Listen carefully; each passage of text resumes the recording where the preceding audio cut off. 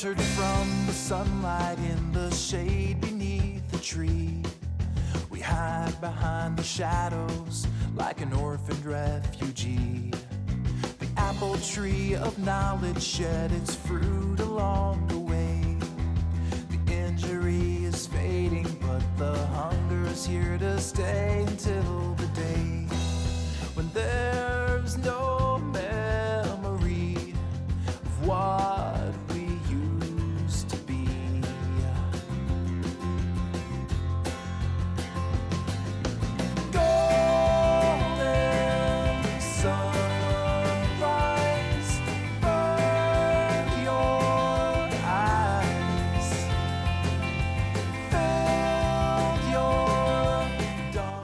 Hello tout le monde, c'est Maëlie de Cherry Pepper. Alors aujourd'hui, on va faire la recette de soupe crue qu'on avait euh, mangée en fait dans le dernier vlog. Vous avez été assez nombreux à la demander, donc voilà. Euh, donc j'ai déjà préparé tous mes ingrédients. Michel a filmé quelques images, je pense qu'on vous, euh, vous le mettra au début de la vidéo. Donc c'est une recette très simple. En fait, le plus long, c'est la phase justement de préparation des ingrédients. Après, vous avez juste à tout mettre dans le mixeur et à, mixer. Donc on va commencer avec le gel de chia qu'il faut préparer à l'avance. Si vous ne savez pas comment préparer un gel de chia, on a fait une vidéo euh, cette semaine dessus. Donc je vous mettrai le lien dans la vidéo. Ensuite, euh, on va mettre euh, l'oignon. Alors pour l'oignon, vous pouvez mettre ce que vous voulez en fait, un oignon blanc, un oignon jaune, un oignon rouge, ce que vous avez, de l'échalote. Là j'ai de l'oignon nouveau ou oignon vert, donc je vais en mettre. Et j'ai de la ciboule du jardin que je vais ajouter aussi. Donc bon, on coupe grossièrement pour pouvoir le mixer.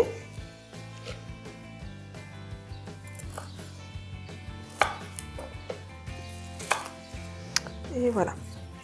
Si vous n'avez pas l'oignon, c'est toujours pareil, pas obligé d'en mettre.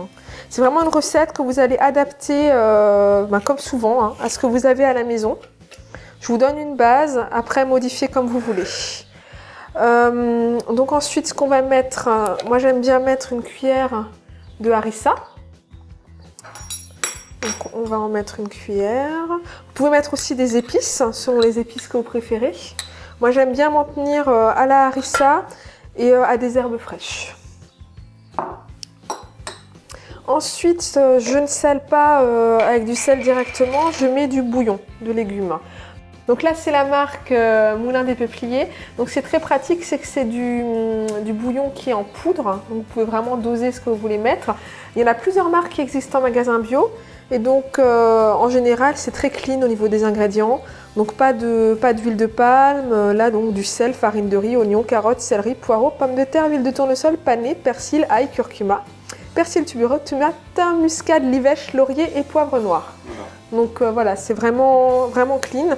Donc j'en mets une cuillère et ça suffit euh, à saler en fait euh, toute la préparation. Ensuite, je vais ajouter le jus d'un citron. J'aime bien, ça ajoute un petit zing à la recette. En fait, ça équilibre un petit peu. hein. Les feuilles vertes, en général, il y a une petite amertume selon ce que vous allez mettre. Là, il y a l'acidité avec le citron. Et ensuite, on va ajouter ce qui va euh, apporter de la douceur et sucré. Donc, j'ajoute une date. Donc là, c'est des dates Mazafati qu'on adore, Michel et moi. Et une pomme.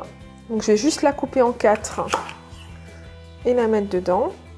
Vous pouvez enlever les pépins. On va enlever les pépins, allez. Hop.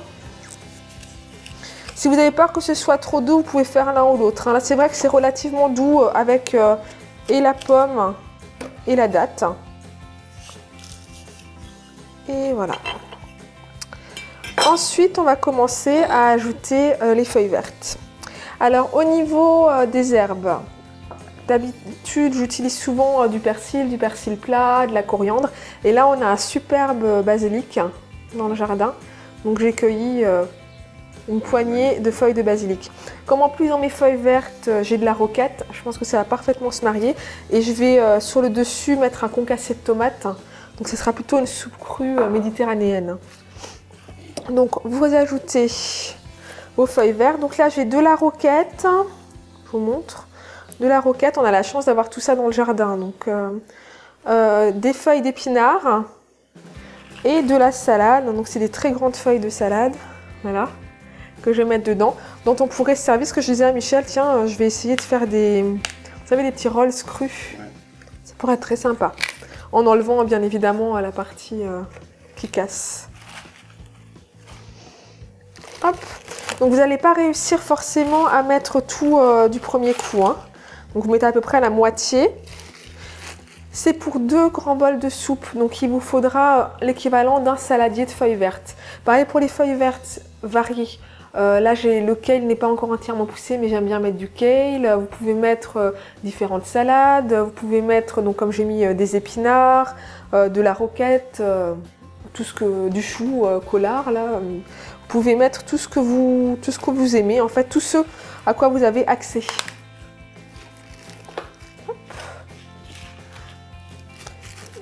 Je vais mettre un petit peu d'eau et on va mixer une première fois avant d'ajouter le reste.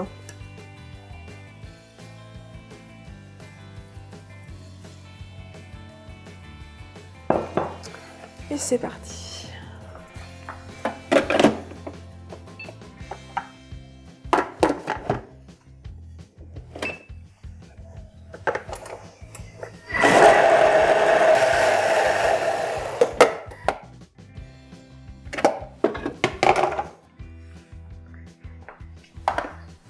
Je vais ajouter le reste des feuilles vertes. Encore un petit peu d'eau. Alors pour l'eau, en fait, vous avez plusieurs solutions. Vous pouvez prendre de l'eau à température ambiante comme je le fais là. Ça va vous donner une soupe euh, froide, en fait, style euh, gazpacho. Et euh, éventuellement, si vous avez un thermomix, vous pouvez tiédir la soupe à 37 degrés avec la fonction thermomix. Ou alors, ce que vous pouvez faire, Stéphanie, en fait, une de nos abonnées, m'avait envoyé une vidéo d'Irène Grosjean où elle prépare aussi des soupes crues. Et elle, elle met directement de l'eau bouillante en fait, directement de la bouilloire dans son mixeur. Donc si vous voulez les faire en hiver ou même si maintenant vous avez envie d'une soupe euh, plutôt chaude, vous pouvez le faire comme ça directement. Ou alors encore autre idée, vous pouvez euh, donc faire un bouillon sur, euh, le feu. justement, si vous avez que des bouillons en cubes, vous préparez votre bouillon et vous le versez, vous le versez dans la soupe. Donc toujours pareil, une multitude de possibilités. hein. Je vais encore ajouter un petit peu d'eau. Et on va mixer le reste.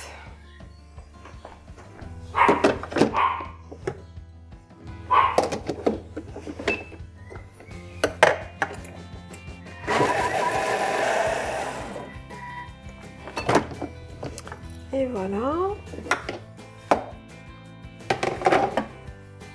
Donc là, elle est déjà bien mixée. Je l'ai faite un peu plus liquide que la dernière fois. J'avais envie. Là, on va ajouter le dernier ingrédient. Alors, pour rendre la soupe euh, crémeuse, j'aime bien ajouter un avocat.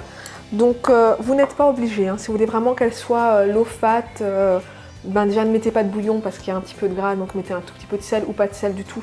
Si ça vous dérange pas de manger euh, non salé, et n'ajoutez pas l'avocat. Mais Bon, c'est du bon, c'est du bon gras. hein. donc là, je vais l'ajouter.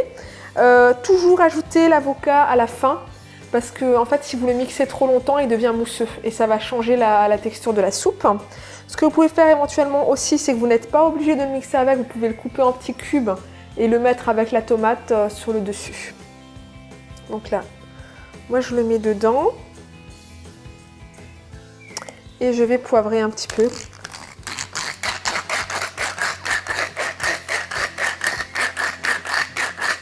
Et voilà, après on n'a plus qu'à mixer une dernière fois et notre soupe sera prête.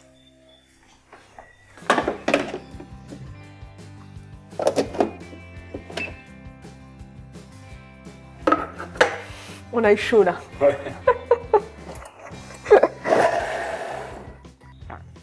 Et voilà, donc une belle soupe toute verte. Alors c'est idéal euh, comme repas du soir, je trouve.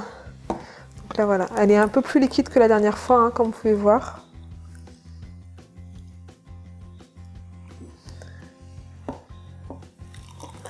J'espère que j'arriverai à rendre la couleur dans la vidéo parce que c'est magnifique. Ah, c'est beau, hein. Moi j'ai même un petit reste. Tout petit petit. Ah non, je crois que je peux. Et voilà. Alors là, sur le dessus, moi j'aime bien mettre des tomates. C'est bien frais. Donc je les ai coupés en petits, en petits cubes.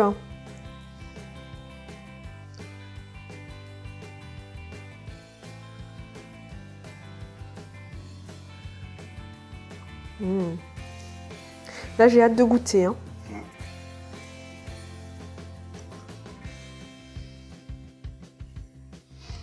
Et des graines en fait. Alors on m'a déjà demandé ce que c'était. C'est un mélange de graines euh, qu'on prépare. Euh, je les achète en vrac. Donc c'est du sésame, du tournesol et de la courge. Et donc c'est un mélange de graines qu'on adore mettre euh, sur les pâtes, sur le riz, sur différents plats. On les saupoudre. Et donc là, sur cette soupe aussi. Voilà. Et encore un tout petit peu de poivre.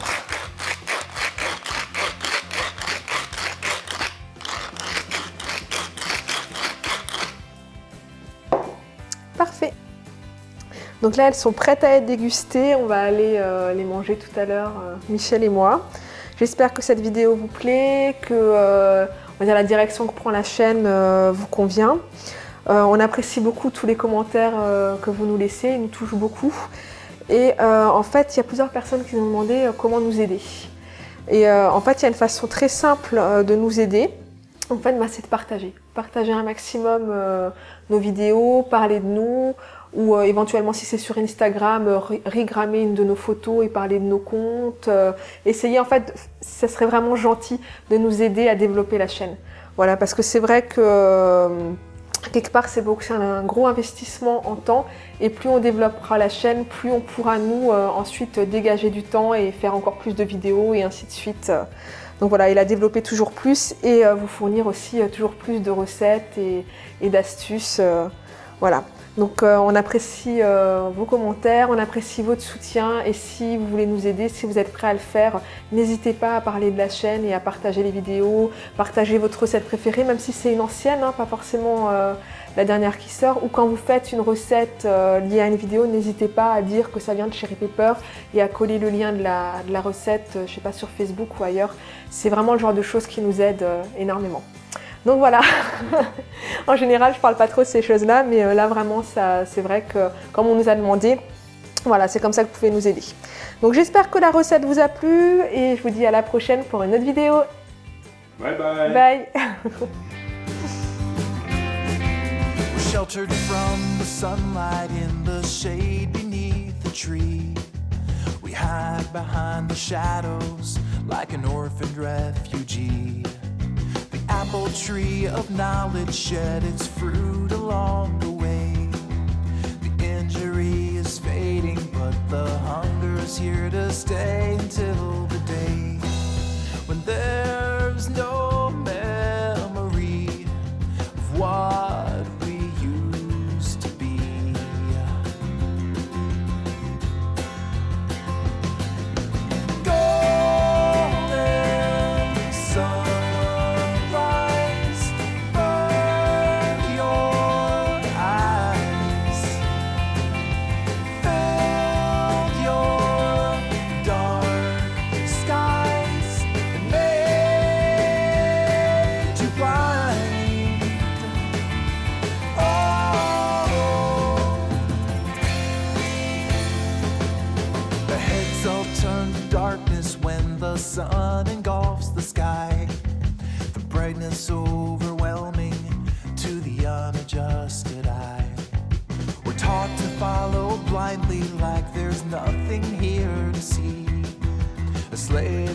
some philosophy will somehow make you free, and you will be so glad.